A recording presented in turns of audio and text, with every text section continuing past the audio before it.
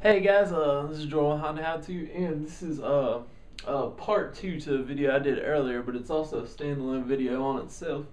And um, what I'm gonna be describing is the CLT test, and um, basically this is the best test for testing for compression. A lot of people use this little uh, screw-in hose and the little gauge there, and they check all the cylinders. But um, this is the best test best test by far for uh, testing for a leak in the cylinder. Uh, I'd highly recommend it before you ever pull a cylinder head to do a head gasket. And basically, it's the CLT test, which is the cylinder leak test. And um, the process is going to be different for every car. But basically, what you want to do is get the cylinder you're testing on top dead center, ready to fire.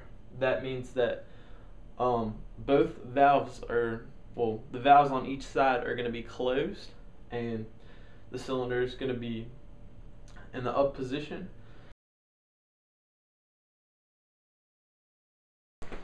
Hey guys, Joel on how to um pausing the video clip here real quick. I said um the make sure you get the cylinder uh to top dead center. What I actually meant to say was the piston up to top dead center because the cylinder is a fixed thing, it's not moving. So uh yeah, piston top dead center. Alright, we'll continue on with the video now.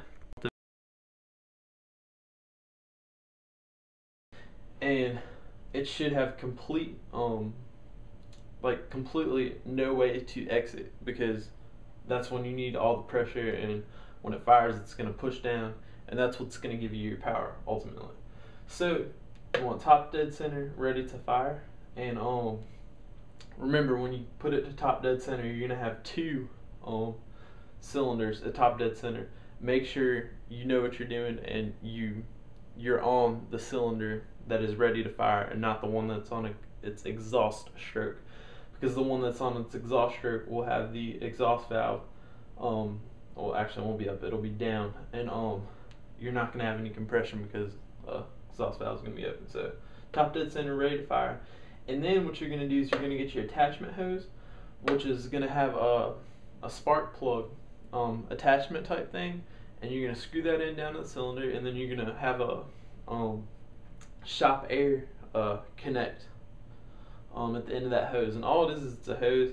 That's another good thing. You don't have to actually have the gauge and stuff. So you hook your shop air up to the cylinder that you're testing, um, screwed into the spark plug, and then um, basically that should stop your air and it'll pretend like the air, your shop air isn't doing anything.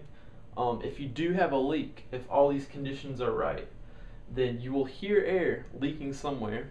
You can open your oil cap and you can listen. Uh, if you hear air flowing in there, then you know it's probably your um, compression rings or your oil rings around your piston. Um, let's see, it could also be coming out of your. Um, you could have a leaking intake valve. Um, you could listen if you hear it coming from like your intake manifold. That would indicate a leak in intake valve. You can also uh, stick your head by your exhaust um, or your exhaust manifold, and if you hear air coming towards there, then you know you have a bad exhaust valve. And then also other cylinders. Um, if you take the spark plugs out of the other cylinders, then if uh, an adjacent cylinder is um, leaking air, then you'll know that the one combustion chamber is leaking to the other combustion chamber. So, um, like I said, the CLT test, uh, best test for checking uh, head gas. Hey guys, it's Jordan again, and I'm pausing the video again.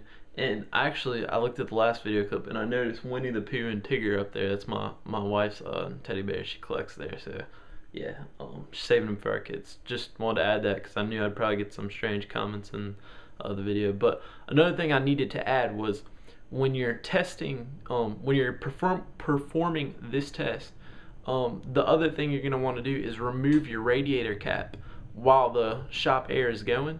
And if you do have a combustion chamber to water jacket uh, failure, then water's gonna shoot right up. You're gonna have stuff flowing. You're gonna hear something if you don't have any coolant in there. Something's gonna happen. So that would let you know that the head gasket is the problem and there's a failure there. So just need to add that. And thanks for watching. Let's get back to the video.